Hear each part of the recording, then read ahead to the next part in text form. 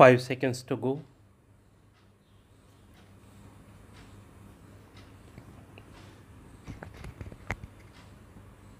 Start. Having noticed the factual basis for the preferment of the petition and the disclosures made by the respondents, we now proceed to note the primary legal submissions which have been advanced in these proceedings. Learned counsel for the petitioner, while reiterating the averments made in the writ petition, has contended that large scale scams occurred in the authorities and more particularly Noida, clearly being indicative of the fact that all was not well. He asserted that the state government, even in the matter of posting of officers, must act in a manner which inspires confidence in the public at large and that its action must not reflect of favoritism in favor of a select few. It was contended that the continuance of the 12th respondent was clearly detrimental to the public interest without justification in law and that the state government was continuing to accord him protection despite various scams and allegations having been leveled against the 12th respondent and Noida. It was therefore submitted that larger public interest clearly warranted removal of the 12th respondent from the post of CEO Noida. The learned counsels for the respondents have, apart from addressing submissions on the merits of the allegations levelled in the petition in unison, taken serious objection to the entertainment of the PIL itself and have submitted that the instant petition was neither bona fide nor did it espouse any issue of public interest.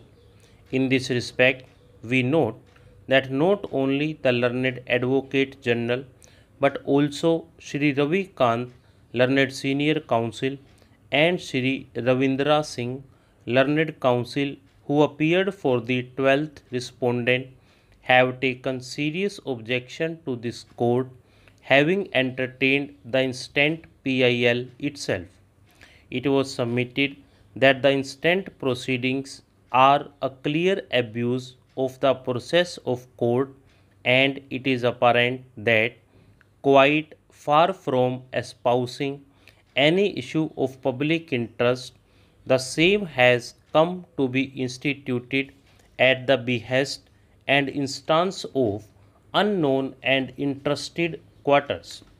Learned counsel drew the attention of the court to the fact that the petitioner was stated to be a society registered and resident at Allahabad and that in the entire petition there was no material which may have even remotely indicated its activities or area of operations.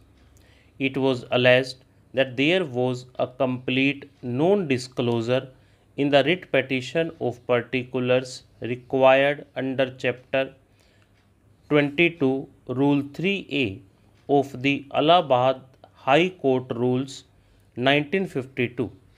Learned Counsel submitted that the writ petition carried not one averment of any public or social service which the petitioner society may be stated to have performed.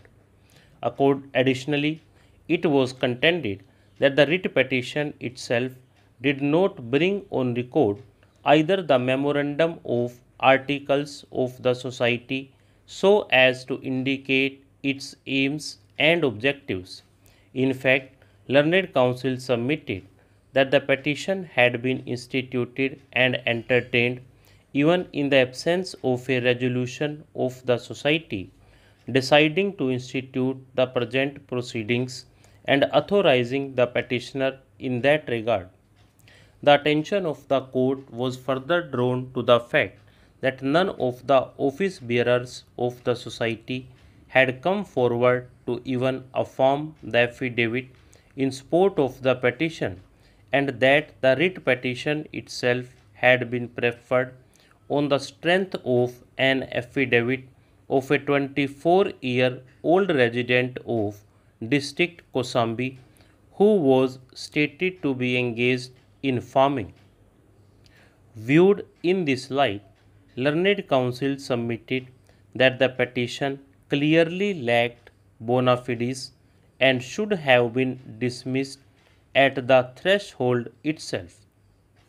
It was contended that it is petitions like the present which have sullied the field of public interest litigation and have consequently invited adverse comment from the Supreme Court as well as this court.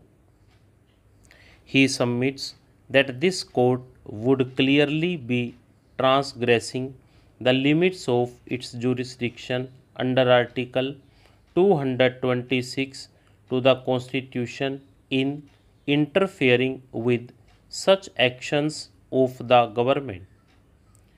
It is his submission that issues of the nature which stand raised in this petition would clearly invite the court to step into an arena which is within the exclusive domain and discretion of the state government. Stop.